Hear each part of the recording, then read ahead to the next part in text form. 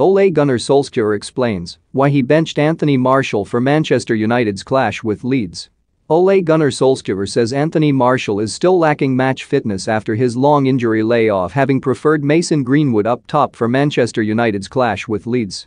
The Red Devils kicked off their new Premier League campaign with a testing match against Marcelo Bielsa's high-pressing energetic team at Old Trafford, with a full house at the stadium for the first time since the coronavirus pandemic started. United have a few injury issues to contend with, with striker Edinson Cavani allowed to return to Manchester late following his exertions at the Copa America. Martial has played a role in pre-season but missed the back end of last season due to injury, not playing a competitive game since March, and Solskjaer did not want to risk him against Leeds.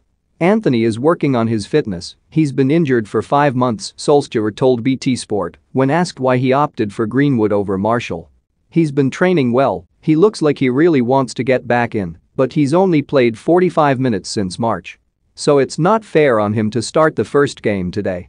John Terry fears Man United are missing key signing and makes shock top 4 prediction John Terry likens Man United Rolls-Royce Raphael Varane to Chelsea legend Berbatov's Premier League predictions including Leeds v Man United on opening weekend United have had a busy summer window, unveiling Raphael Varane shortly before kick-off on Saturday as well as spending £72 million on Jadon Sancho.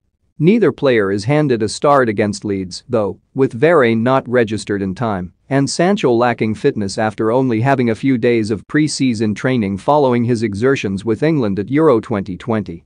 Asked why Sancho only makes the bench, Solskjaer explained, it is too soon to start.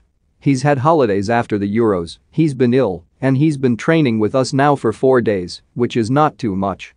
It's not enough to be playing 90 minutes against Leeds, because Leeds will give us a physical challenge. But he's ready to come on and make a difference. More Manchester United finally complete signing of Raphael Varane More John Terry compares Manchester United Rolls-Royce Raphael Varane to his old Chelsea centre-back partner